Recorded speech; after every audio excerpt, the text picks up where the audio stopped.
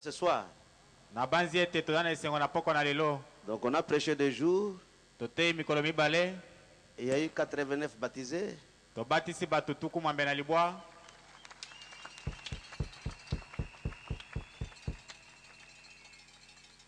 Et je sais qu'il y a d'autres qui attendent aujourd'hui pour se faire baptiser. Et donc hier, j'ai parlé sur le message, comment il est venu, lobi nalobelaki motindo nini sango le temps de la visitation, ntango ya koya kotama na nzambe. Donc l'arrivée du messager avec son message, boyei na motindami elongo na sango na ye. Qui avait l'esprit d'Élie. elongo na molimo na eliya Et j'ai montré comment l'esprit d'Élie a visité la terre. C'est la quatrième fois que l'esprit d'Élie vient de visiter la terre. Et la cinquième fois, ça sera euh, en Israël. Et donc on a essayé de montrer tomekaki kotalisa et que Dieu, quand il annonce quelque chose, mais quand il accomplit cela, ça passe au-dessus de la tête des gens. Et mais gloire soit rendue au Seigneur, parce que nous avons été prédestinés à écouter ces choses. Et pendant que beaucoup de gens ne sont pas à mesure d'écouter quelque chose là-dessus. Alors j'ai montré comment les apôtres, appelés de Dieu, ils n'ont pas connu Jean-Baptiste. Donc ils n'ont pas découvert que c'est celui-là qui avait l'esprit d'Élie à son temps. C'est le Seigneur qui les a dit et que, et- et- et que Jean-Baptiste était l'Élie. Et il était déjà venu. Mais il y a un autre qui devrait venir. Et celui qui devrait venir, c'est celui qui devrait rétablir toutes choses. Celui qui devrait rétablir toutes choses, c'est Élie de Malachie 4. ezali nde eliya oyo ya malaki ya minei Il devrait venir avant que le monde ne soit détruit. Mais quand Jean-Baptiste était venu, et donc le monde n'était pas détruit, te et ça fait maintenant 2000 ans, koto mibale et c'est que ce n'était pas lui. Et un prophète, quand il vient, et il n'y a pas son nom écrit dans la Bible. une- il y a une écriture qui l'identifie dans la parole. Un prophète est identifié par la parole. C'est pour cela que les Juifs voulaient savoir. Et si Jean-Baptiste était, était le Christ, non, je ne le suis pas. Te ngai nazali kristo te Est-ce que tu es l'Élie? Yo ozali eliya Non, il n'était pas l'Élie qui devrait venir. te azalaki eliya te oyo asengelaki koya Il n'était pas le Christ. azalaki mpe kristo Mais il s'est identifié par la parole. kasi nde amitalisaki nazala na liloba Il, a dit que je suis la voix de celui qui crie dans le désert. alobaki ete nazali nde mongongo na oyo azali kokanga na kati na biliki Et- et C'est la manière que les prophètes s'identifient. wana nde motindo oyo basakoli bazali komitalisa Il s'ad- Et donc il s'identifie par la parole écrite. écrite. C'est comme ça que notre prophète aussi. Et son nom dans la Bible n'est pas Branham. Et tu vas chercher Branham dans la Bible, ça n'existe pas. te Mais Malachie 4, 5 à 6, kasi malaki ya mine mitano kino motoba. Il y a un homme qui doit porter l'esprit d'Élie. Et il a un travail, c'est de ramener le cœur des enfants à leur père.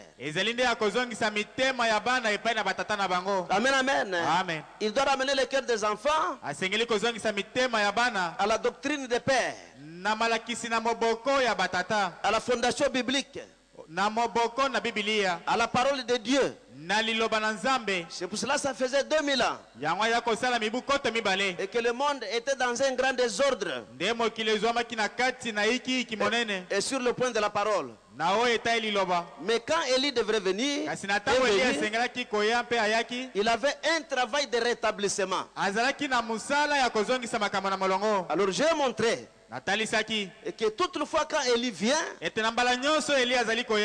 eli c'est un metteur en ordre, ye nde azali kozongisa makambo na molongo c'est un rétablisseur. ye nde azali kotia eloko nyonso na esika na yango C'est que l'esprit d'Élie quand il vient, molimo na eliya na ntango ezali koya c'est un esprit qui vient quand il y a l'apostasie sur la terre. ezali nde molimo oyo ezali koya na ntango botomboki ekoti na kati na mokili Élie est venu pour la première fois. eliya ayaki mpo na mbala ya liboso C'est et dans le temps du roi Akab. ezalaki na eleko ya mokonzi akab Et Akab avait une femme impossible. mpe akab azalaki na mwasi moko ya somo C'était une femme qui conduisait son mari.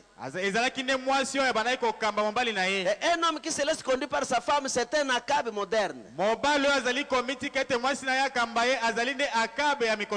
C'est l'acabisme moderne. Mais Dieu a créé l'homme pour être la tête de la maison. Un homme, c'est lui la tête dans la maison. Et quand la femme conduit, c'est le monde à l'envers. Et pendant cette période-là, Élie le Tishbite est venu. Et comme c'était un metteur en ordre, il est venu trancher les choses. C'est un esprit d'ordre. C'est un esprit qui s'emporte contre les femmes immorales. Et quand cet esprit vient, ça ne ménage pas les femmes. Ezali kobembelisa basi te Et ça les secoue. ezali nde koningisa bango Envie de les remettre en ordre. po ete bazonga na kati na molongo C'est ce que l'esprit d'Élie fait. yango nde oyo molimo na eli ezali kosala Et quand nous voyons dans les types, ntango tokomona kati na bililingi on a vu que Élie le Tishbite, tomonaki ete eliya na tishibi et quand il était devant la confrontation avec les quatre prophètes Baal, wana azwamaki liboso na etumba na basakoli kama mine na bale il n'a pas invoqué directement le feu. Non. Il devrait d'abord rétablir l'adoration. C'est pour cela que Jésus dit qu'Élie doit venir et rétablir toutes choses. Il devrait venir pour rétablir l'adoration. Et quand les gens se faisaient baptiser au nom du Père, du Fils et du Saint-Esprit, et que le monde entier était dans les ténèbres, Élie est venu, il a ramené les choses au fondement. Et le baptême, hein, ce n'est pas au nom du Père, du Fils et du Saint-Esprit, mais c'est dans le nom du Seigneur Jésus-Christ. Alors Élie, eliya c'est lui qui vient, envie de ramener le cœur des enfants. Toujours à Dieu. Amen. Amen. C'est comme ça que Élie qui est venu, il est venu au temps de la fin, envie de nous montrer. Donc les voies du Seigneur avant que le monde ne soit détruit. C'est là que l'apôtre Pierre dit qu'ils veulent ignorer ce monde a été détruit par les eaux et qu'il est réservé pour le feu. Mais avant que les eaux ne tombent, Dieu a envoyé un témoin. Et le témoin qu'il avait envoyé, c'était Noé. Il avait un message et qui n'était pas la même chose comme les autres messages. te Un prophète, quand il vient, il vient avec une nouvelle chose. Il vient avec une nouvelle manière de faire les choses. Amen. amen Un homme qui reçoit un prophète, il doit changer ses manières de faire. Parce qu'un prophète, c'est la vie actuelle de Dieu. Un prophète, c'est celui qui montre comment Dieu veut que les gens vivent dans un temps donné.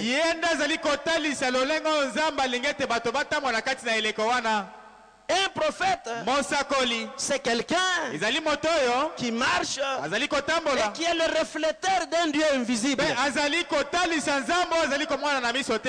C'est Dieu que vous ne pouvez pas voir. Et quand il veut que vous puissiez le voir, il vous envoie son miroir. Un prophète, c'est le miroir de Dieu. Qui peut dire Amen? Un prophète, c'est le viveur de la parole. Un prophète, dès son ye. Tous ces petits mouvements, c'est la parole.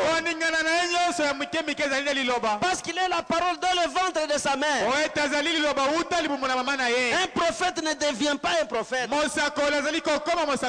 Il est prédestiné dans le ventre de sa mère. ye Et quand il naît, il est un prophète. Amen. Refuser un prophète, c'est rejeter Dieu dans un âge donné. Et quand vous avez rejeté Dieu, ça n'est fini de vous. C'est que Dieu, vous ne le verrez jamais sous la forme invisible. te Donc le Père, personne ne peut le voir. Mais kasi il se laisse manifester au travers de la chair. azali komitika ete bato bamona ye nazali na nzoto moko C'est pour cela Dieu, yango wana nzambe quand il a parlé sur la montagne de Sinaï, na ntango alobaki koya na ngomba na sinai et que la colonne de feu était descendue sur la montagne, mpe likonzi na moto ekitaki likolo na ngomba et que les gens ont regardé, mpe bato batalaki il y a eu des tremblements de terre, ezalaki na koningana na puis des grondements. mpe ezalaki na bakongoluma Le peuple a eu peur. libota babangaki Et, et, et, et non, qu'il ne nous parle plus sous cette forme. Parce que Dieu, quand il descend dans sa grandeur, personne ne peut le suivre. Il n'y a personne qui peut le comprendre. C'est le peuple qui a demandé. Que Moïse dit à Dieu, on ne veut pas qu'il nous parle sur cette forme.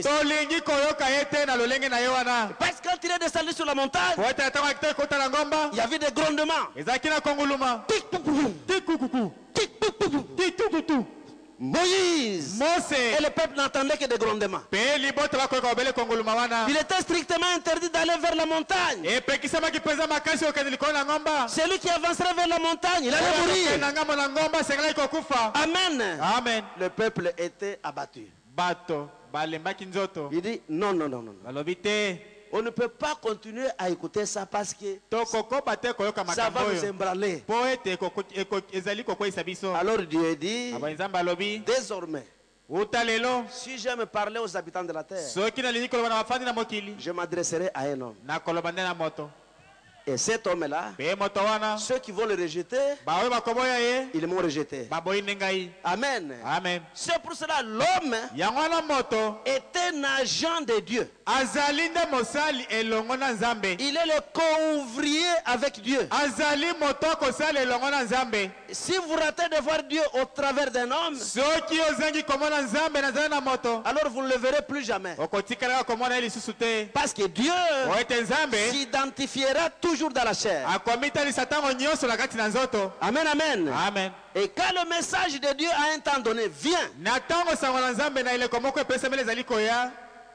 cela s'appelle la parole faite chair au temps présent. Et dans l'histoire, on n'a jamais vaincu la parole faite chair au temps présent. Parce que la parole faite chair au temps présent, c'est impossible de vaincre parce que Dieu est sous cette forme-là. Écoutez mes frères bien-aimés, et vous qui ne connaissiez pas ces choses, quand Moïse était appelé pour voir Dieu, et, et il était un serviteur de Dieu, mais avant qu'il ne se rencontre avec Dieu, il connaissait sa mission. C'était par l'enseignement de sa mère. Il savait que j'ai une mission à faire. Bien qu'il avait la mission, mais il n'avait pas encore la commission. Il devrait attendre la commission. Et la commission de Dieu vient toujours au travers d'un surnaturel. C'est toujours au travers du surnaturel. Si le surnaturel ne se manifeste pas, Dieu n'est pas là. C'est impossible que quelqu'un soit dans l'eau et qu'il ne soit pas mouillé. Et qu'il vienne nous dire qu'il était dans l'eau. Donc vous ne pouvez pas avoir Dieu et manquer sa puissance. C'est impossible. C'est pour cela Moïse, eh dans sa mission et sa commission, il a vu un jour un buisson ardent. Qui était en train de s'allumer. Et la voix de Dieu a retenti dans le buisson. Et le frère Banamou dit, si l'église ne se rencontre pas avec le surnaturel, avec le surnaturel, eklesi cette église ne prospérera pas. Il faut qu'il se rencontre avec le surnaturel. Mais le surnaturel sans la parole, c'est un explosif dangereux. Et la parole sans le surnaturel, c'est un explosif dangereux. Il faut les deux ensemble. Amen, amen. amen Il faut que les deux soient ensemble. Moïse, Moïse, mose mose il tourne les yeux, miso il regarde. atali C'est un buisson qui s'allume. kopela Oh, mais qu'est-ce que je viens de voir là? Enlève tes souliers. Et la terre sur laquelle tu te trouves est une terre sainte. Il a enlevé et c'était la commission. J'ai entendu les cris de mon peuple. j'ai entendu comment les Égyptiens sont en train de les déranger là-bas. Maintenant, moi, Dieu, je descends. Mais toi, Moïse, kende. Écoutez mes frères, c'est que Dieu voulait délivrer les enfants d'Israël. Mais il ne pouvait pas les délivrer sous la forme de l'esprit. Il parle toujours au travers d'un homme. Il appelle Moïse. Allez, va. kende Quand Moïse allait en Égypte, egypito ce n'était pas Moïse. C'était Dieu sous la forme d'un homme. Qui peut dire Amen? C'était Dieu sous la forme de Moïse. Et de toucher à Moïse, c'était toucher à Dieu directement. moko? Amen, amen. amen Il ne fallait pas toucher à Moïse. Toucher à Moïse. kosimba mose Oh, c'est toucher directement Dieu. La parole fait chair. Et quand elle vient au temps présent, cette parole est invincible. cette parole ne peut pas échouer. Cette parole est capable de faire des choses merveilleuses. amen. amen Ainsi, nous allons nous lever pour la lecture de la parole de Dieu. Et Aujourd'hui, je prêcherai sur euh, le message de l'air n'est pas prêché seulement en parole, mais en puissance.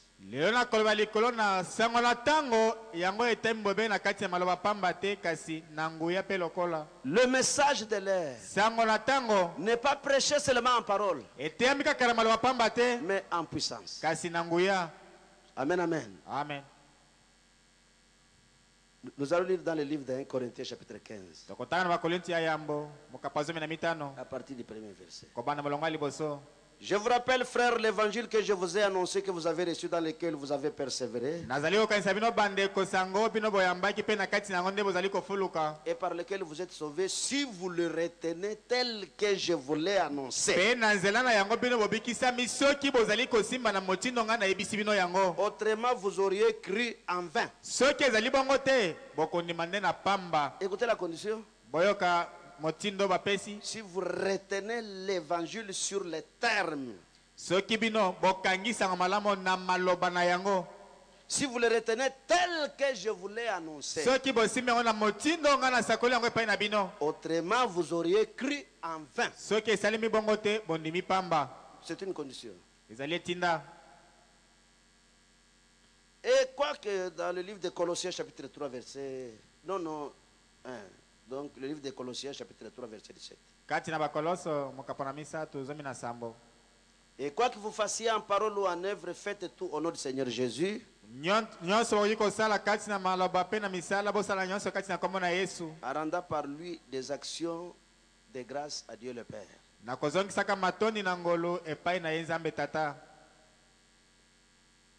Asseyez-vous. ofanda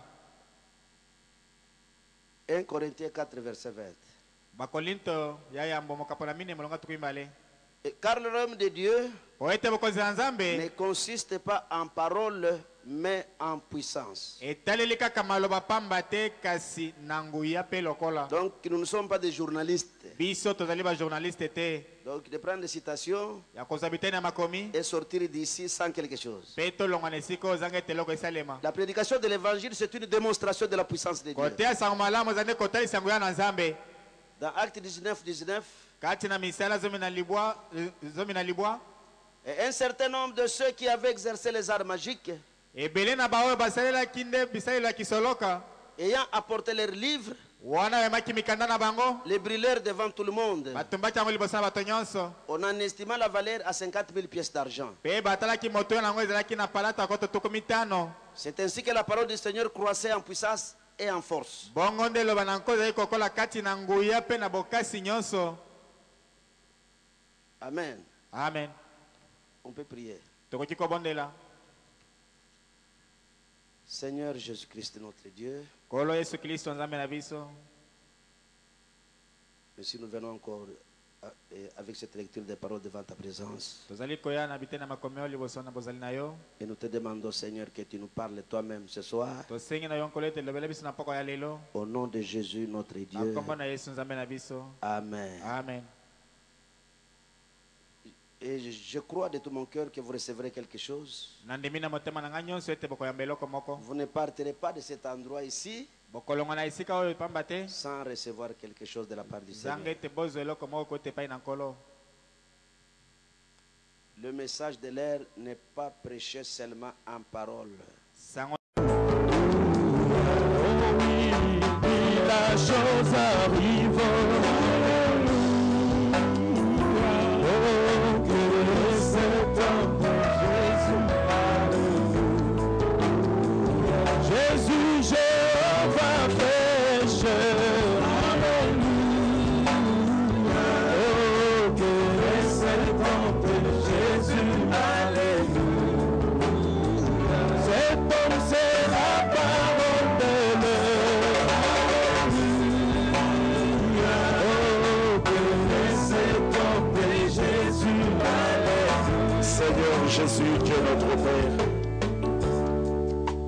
De la terre des cieux, le moment est venu maintenant.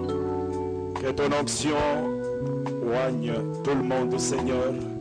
Les vases qui vont parler et tous ceux qui vont écouter. Que ta présence plane partout pour guérir les malades, Dieu Tout-Puissant, et permettre la révélation à tous. Au nom du Seigneur Jésus-Christ. Amen. On écoute la parole de Dieu. Le Seigneur vous bénisse. Et ceux qui sont de l'autre côté, qui sont debout, ils peuvent avancer ce côté ici. bamosusu oyo baza na ngambo mosusu kuna bakoki kobelema liboso Je pense que nous sommes contents ce soir. Donc on a prêché deux jours. il y a eu 89 baptisés.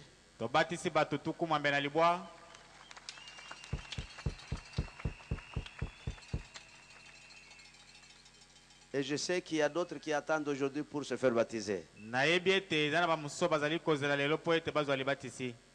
Et donc hier, j'ai parlé sur le message, comment il est venu, le temps de la visitation, donc l'arrivée du messager avec son message, ye. Qui avait l'esprit d'Élie. Et j'ai montré comment l'esprit d'Élie a visité la terre. Mokili oyo C'est la quatrième fois que l'esprit d'Élie vient de visiter la terre. na mokili. Et la cinquième fois, ça sera en Israël. Et donc on a essayé de montrer et que Dieu, quand il annonce quelque chose, mais quand il accomplit cela, ça passe au-dessus de la tête des gens. Et mais gloire soit rendue au Seigneur, parce que nous avons été prédestinés à écouter ces choses. Et pendant que beaucoup de gens ne sont pas à mesure d'écouter quelque chose là-dessus. Alors j'ai montré comment les apôtres appelés de Dieu, natalisaki na motindo nini bantoma babengamaki na nzambe ils n'ont pas connu Jean-Baptiste. bango bayebaki yohane mobatisi te Donc ils n'ont pas découvert que c'est celui-là qui avait l'esprit d'Élie à son temps. bakundolaki te baloba ete ye nde azalaki na molimo na eliya na ntango wana C'est le Seigneur qui les a dit nkolo nde alobaki na bango et que, et- et- et que Jean-Baptiste était l'Élie. ete yohane mobatisi azalaki nde eliya Et il était déjà venu. Mais il y a un autre qui devrait venir. Et celui qui devrait venir, c'est celui qui devrait rétablir toutes choses. Celui qui devrait rétablir toutes choses, c'est Élie de Malachie 4. ezali nde eliya oyo ya malaki ya minei Il devrait venir avant que le monde ne soit détruit. Mais quand Jean-Baptiste était venu, et donc le monde n'était pas détruit, te et ça fait maintenant 2000 ans, koto mibale et c'est que ce n'était pas lui. Et un prophète, quand il vient, et il n'y a pas son nom écrit dans la Bible. une- il y a une écriture qui l'identifie dans la parole. Un prophète est identifié par la parole. C'est pour cela que les Juifs voulaient savoir. Et si Jean-Baptiste était, était le Christ, non, je ne le suis pas. Te ngai nazali kristo te Est-ce que tu es l'Élie? Yo ozali eliya Non, il n'était pas l'Élie qui devrait venir. te azalaki eliya te oyo asengelaki koya Il n'était pas le Christ. azalaki mpe kristo Mais il s'est identifié par la parole. kasi nde amitalisaki nazala na liloba Il, a dit que je suis la voix de celui qui crie dans le désert. alobaki ete nazali nde mongongo na oyo azali kokanga na kati na biliki Et- et C'est la manière que les prophètes s'identifient. wana nde motindo oyo basakoli bazali komitalisa Il s'ad- Et donc il s'identifie par la parole écrite. C'est comme ça que notre prophète aussi, et son nom dans la Bible n'est pas Branham. Et tu vas chercher Branham dans la Bible, ça n'existe pas. te Mais Malachie 4, 5 à 6, kasi malaki ya mine mitano kino motoba. Il y a un homme qui doit porter l'esprit d'Élie. Et il a un travail, c'est de ramener le cœur des enfants à leur père. Amen, amen. amen. Il doit ramener le cœur des enfants mitema ya bana à la doctrine des pères, na malakisi na moboko ya batata à la fondation biblique, na moboko na bibilia à la parole de Dieu. na liloba na nzambe. C'est pour cela que ça faisait 2000 ans. Yango ya kosala mibu koto mibale. Et que le monde était dans un grand désordre. Nde mokili ezwamaki na kati na ikiiki monene. Et sur le point de la parole. Mais quand Élie devrait venir, il avait un travail de rétablissement. Alors j'ai montré et que toutefois quand Élie vient, eli c'est un metteur en ordre, ye nde azali kozongisa makambo na molongo c'est un rétablisseur. ye nde azali kotia eloko nyonso na esika na yango C'est que l'esprit d'Élie quand il vient, molimo na eliya na ntango ezali koya c'est un esprit qui vient quand il y a l'apostasie sur la terre. ezali nde molimo oyo ezali koya na ntango botomboki ekoti na kati na mokili Élie est venu pour la première fois. eliya ayaki mpo na mbala ya liboso C'est et dans le temps du roi Akab. ezalaki na eleko ya mokonzi akabe Et Akab avait une femme impossible. azalaki na C'était une femme qui conduisait son mari. Et un homme qui se laisse conduire par sa femme, c'est un akabe moderne. C'est l'acabisme moderne. Mais Dieu a créé l'homme pour être la tête de la maison. Un homme, c'est lui la tête dans la maison. Et quand la femme conduit, c'est le monde à l'envers. Et pendant cette période-là, Élie le Tishbite est venu. Et comme c'était un metteur en ordre, il est venu trancher les choses. C'est un esprit d'ordre. C'est un esprit qui s'emporte contre les femmes immorales. Et quand cet esprit vient, ça ne ménage pas les femmes. Ezali kobembelisa basi te Et ça les secoue. ezali nde koningisa bango Envie de les remettre en ordre. po ete bazonga na kati na molongo C'est ce que l'esprit d'Élie fait. yango nde oyo molimo na eli ezali kosala Et quand nous voyons dans les types, ntango tokomona kati na bililingi on a vu que Élie le Tishbite, tomonaki ete eliya na tishibi et quand il était devant la confrontation avec les quatre prophètes Baal, wana azwamaki liboso na etumbu na basakoli kama mine na bale il n'a pas invoqué directement le feu. Non. Il devrait d'abord rétablir l'adoration. C'est pour cela que Jésus dit qu'Élie doit venir et rétablir toutes choses. Il devrait venir pour rétablir l'adoration. Et quand les gens se faisaient baptiser au nom du Père, du Fils et du Saint-Esprit, et que le monde entier était dans les ténèbres, Élie est venu, il a ramené les choses au fondement. Et le baptême, hein, ce n'est pas au nom du Père, du Fils et du Saint-Esprit, mais c'est dans le nom du Seigneur Jésus-Christ. Alors Élie, c'est lui qui vient envie de ramener le cœur des enfants. Toujours à Dieu. Amen. Amen. C'est comme ça que Élie qui est venu, il est venu au temps de la fin, envie de nous montrer. Donc les voies du Seigneur avant que le monde ne soit détruit. C'est là que l'apôtre Pierre dit qu'ils veulent ignorer que ce monde a été détruit par les eaux. Et qu'il est réservé pour le feu. Mais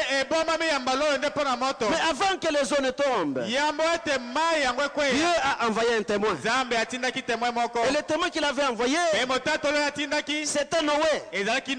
Il avait un message et qui n'était pas la même chose comme les autres messages. te Un prophète, quand il vient, il vient avec une nouvelle chose. Il vient avec une nouvelle manière de faire les choses.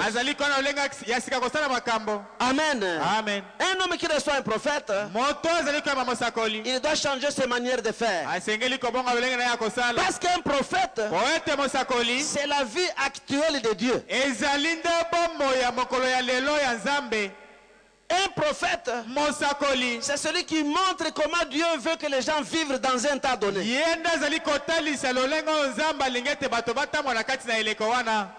Un prophète, c'est quelqu'un qui marche et qui est le refléteur d'un Dieu invisible.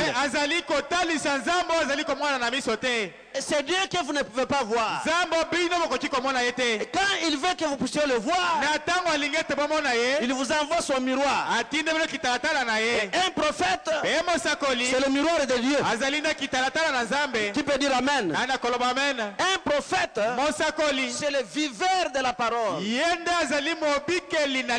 Un prophète, dès son ye tous ces petits mouvements, c'est la parole. Parce qu'il est la parole dans le ventre de sa mère. Un prophète ne devient pas un prophète. Il est prédestiné dans le ventre de sa mère. Et quand il naît, il est un prophète. Amen. Refuser un prophète, c'est rejeter Dieu dans un âge donné. moko Quand vous avez rejeté Dieu, ça n'est fini de vous. C'est que Dieu vous ne le verrez jamais sous la forme invisible. te Donc le Père, personne ne peut le voir. Mais kasi. Il se laisse manifester au travers de la chair. azali komitika ete bato bamona ye nazali na nzoto moko. C'est pour cela Dieu, yango wana nzambe. quand il a parlé sur la montagne de Sinaï, na ntango alobaki koya na ngomba na sinai et que la colonne de feu était descendue sur la montagne, mpe likonzi na moto ekitaki likolo na ngomba. et que les gens ont regardé, mpe bato batalaki. il y a eu des tremblements de terre, ezalaki na koningana na puis des grondements. mpe ezalaki na bakongoluma. Le peuple a eu peur. libota babangaki. Et, et, et, et non, qu'il ne nous parle plus sous cette forme. Parce que Dieu, quand il descend dans sa grandeur, personne ne peut le suivre. Il n'y a personne qui peut le comprendre. C'est le peuple qui a demandé. Que Moïse dit à Dieu, on ne veut pas qu'il nous parle sur cette forme. wana. Parce que quand il est descendu sur la montagne, il y avait des grondements. Moïse et le peuple n'entendaient que des grondements. Il était strictement interdit d'aller vers la montagne. Celui qui avancerait vers la montagne, il allait mourir. kokufa Amen. amen Le peuple était abattu. Il dit non, non, non, non. non. On ne peut pas continuer à écouter ça parce que ça va nous biso. Alors Dieu dit, nzambe alobi. désormais, si j'aime parler aux habitants de la terre, je m'adresserai à un homme. nakoloba nde na moto Et cet homme-là, wana ceux qui vont le rejeter, ils m'ont rejeté. Amen. amen C'est pour cela l'homme est un agent de Dieu. Il est le co-ouvrier avec Dieu. Si vous ratez de voir Dieu au travers d'un homme, alors vous ne le verrez plus jamais. Parce que Dieu s'identifiera toujours dans la chair. Amen, amen. amen Et quand le message de Dieu à un temps donné vient, cela s'appelle la parole faite chair au temps présent. Et dans l'histoire, on n'a jamais vaincu la parole faite chair au temps présent. Parce que la parole faite chair au temps présent, c'est impossible de vaincre parce que Dieu est sous cette forme-là. Écoutez mes frères bien-aimés, et vous qui ne connaissiez pas ces choses, quand Moïse na était appelé pour voir Dieu, nzambe et, et il était un serviteur de Dieu, mais avant qu'il ne se rencontre avec Dieu, il connaissait sa mission. ye C'était par l'enseignement de sa mère. Il savait que j'ai une mission à faire. ya kosala Bien qu'il avait la mission, mais il n'avait pas encore la commission. Il devrait attendre la commission. Et la commission de Dieu kopesa vient toujours au travers d'un surnaturel. C'est toujours au travers du surnaturel. Eleki Si le surnaturel ne se manifeste pas, Dieu n'est pas là. C'est impossible que quelqu'un soit dans l'eau et qu'il ne soit pas mouillé. Et qu'il vienne nous dire qu'il était dans l'eau. C'est impossible. Donc vous ne pouvez pas avoir Dieu et manquer sa puissance. C'est impossible. C'est pour cela Moïse, mose. eh dans sa mission et sa commission, il a vu un jour un buisson ardent. Était en train de s'allumer.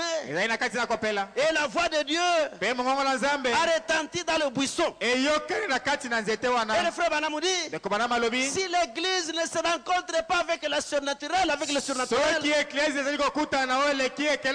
cette église ne prospérera pas. Il faut qu'il se rencontre avec le surnaturel. Mais le surnaturel sans la parole, kasi oyo eleki ekelamu kozanga liloba. C'est un explosif dangereux. ezali nde kodasuko ezali komema likama. Et la parole sans le surnaturel, mpe liloba ezangi oyo eleki ekelamu c'est un explosif dangereux. ezali kodasuka ya likama. Il faut les deux ensemble. esengeli nyonso imbala elongo. Amen, amen. amen. Il faut que les deux soient ensemble. esengeli nyonso imbala ezala elongo. Moïse, Moïse, mose mose. Il tourne les yeux, abalusi miso. Il regarde. atali. C'est un buisson qui salue. ezali nde nzete ezali kopela. Oh, mais qu'est-ce que je viens de voir là? Komona sikoyo Enlève tes souliers. longola sapato na yo Et la terre sur laquelle tu te trouves est une terre sainte. mabele paya mpe ozwami ezali mabele na bule Il a enlevé alongoli et c'était la commission. mpe ezalaki nde mosala bapesi J'ai entendu les cris de mon peuple. nayoki koganga na libota na ngai Et j'ai entendu comment les Égyptiens sont en train de les déranger là-bas. nayoki ndenge bato na egypte bazali kotungisa bango kuna Maintenant, moi, Dieu, je descends. sikoyo ngai nzambe na kiti Mais toi, Moïse, kasi yo mose Ba. kende écoutez mes frères, c'est que Dieu voulait délivrer les enfants d'Israël. Mais il ne pouvait pas les délivrer sous la forme de l'esprit. Il parle toujours au travers d'un homme. Il appelle Moïse. Allez, va. kende Quand Moïse allait en Égypte, ce n'était pas Moïse. C'était Dieu sous la forme d'un homme. Qui peut dire Amen? C'était Dieu sous la forme de Moïse. Et de toucher à Moïse, c'était toucher à Dieu directement. Amen, amen. amen Il ne fallait pas toucher à Moïse. Toucher à Moïse. kosimba mose Oh, c'est toucher directement Dieu.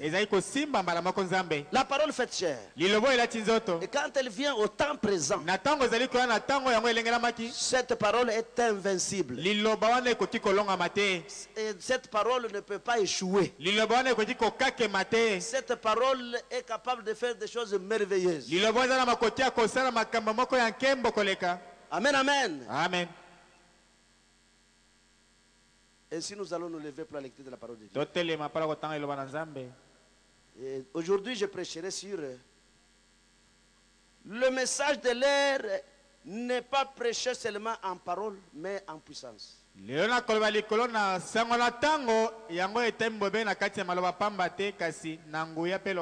Le message de l'air n'est pas prêché seulement en parole, mais en puissance.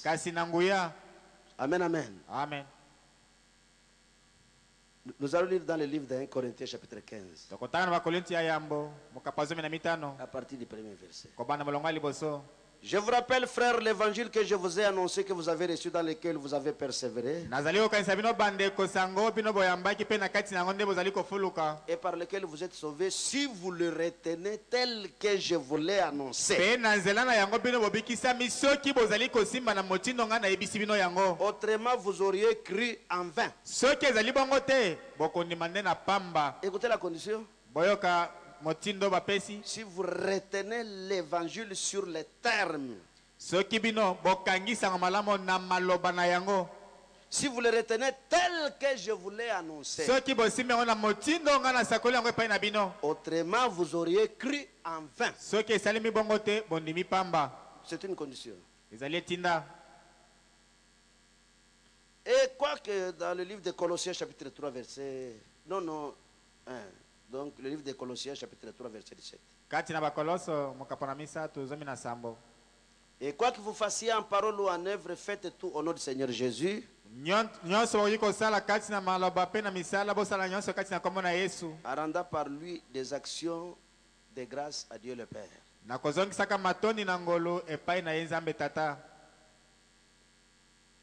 Asseyez-vous. ofanda 1 Corinthiens 4, verset 20. Bakolinto na mine car le royaume de Dieu ne consiste pas en parole, mais en puissance. etaleli kaka maloba pamba te kasi na nguya mpe lokola Donc, nous ne sommes pas des journalistes. biso tozali bajournaliste te Donc de prendre des citations ya kozwa biteni ya makomi et sortir d'ici sans quelque chose. mpe tolongwa na esika oyo ozanga ete eloko esalema La prédication de l'évangile, c'est une démonstration de la puissance de Dieu. koteya sango malamu eza nde kotalisa yango ya na nzambe Dans Acte 19, 19, kati na misala zomi na libwa zomi na libwa et un certain nombre de ceux qui avaient exercé les arts magiques, ayant apporté leurs livres, les brûlèrent devant tout le monde. On en estima la valeur à 50 000 pièces d'argent.